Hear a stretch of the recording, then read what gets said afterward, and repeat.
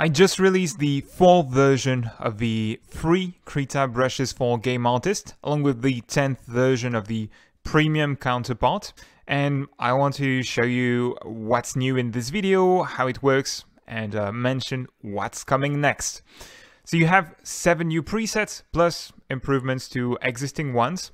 First of all, you have a very soft airbrush that's very nice for uh, shading to add things like, let me show you, like a bit of highlights inside of shadows. It's a very subtle brush.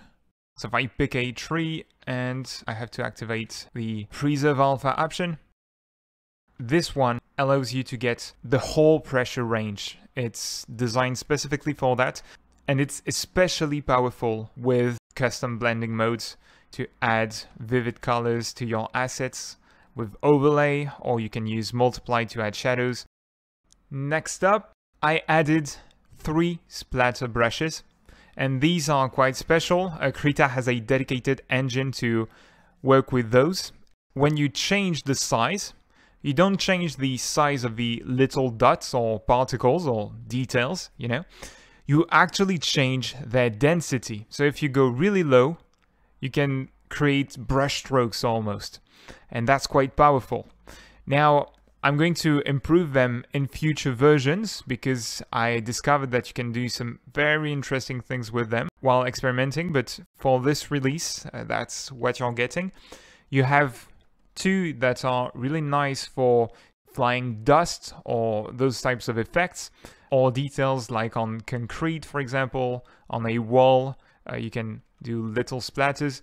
And if you lower the size, you can start to get really nice uh, small details for a path, for example, for game textures to um, make it feel a bit like leaves and all. Uh, you can change the detail element size. It's just a bit cumbersome. You have to go to the brush editor with F5 and go to the spray shape and you increase the size there. So you lock their proportions and then you, you change the size right here. You can try them in the scratch pad and you can achieve new effects with that. And you can see you can almost create bokeh effects or bubbles in water. You can do lots of things. Uh, very nice for graphic design as well. The third one is for scratches or for effects like rain, for example, in your painting. So it's uh, directional. It flows along with your brush stroke. These are the spray brushes. On top of that, you have one for pixel art. Um, let me show you this one. I'll have to zoom in a lot closer. There you go. I'm going to draw a pixel art shape. It's still too big. There we go. That's pixel art. Okay, so let's say I have some kind of shape. This tool is like the liquify tool, you know, the liquify transform, but it's for pixel art. So you can push and pull pixels around and you can sculpt something. I, I really love that because look at that. I'm not painting with a pixel art tool, but I can like sculpt a character.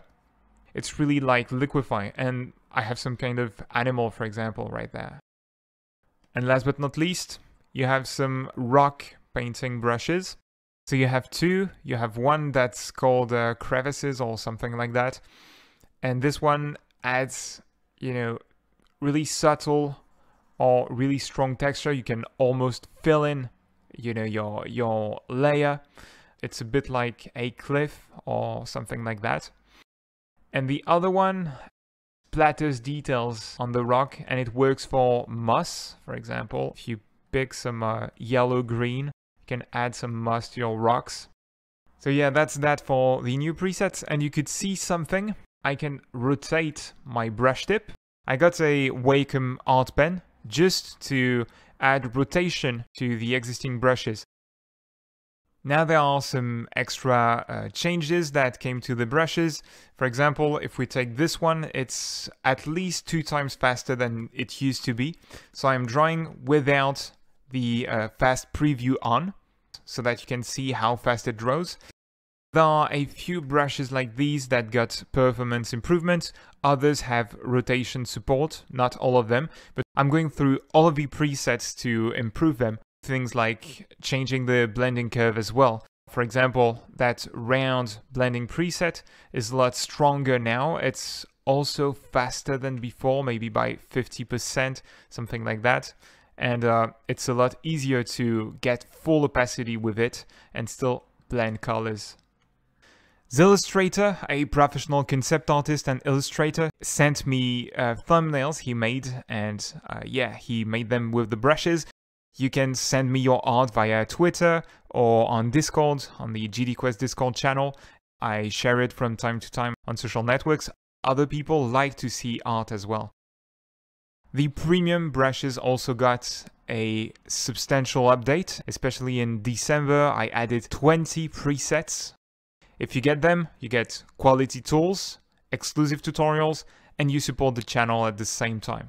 I'll let you check it out. I'm leaving the links in the description below on the end screen as well.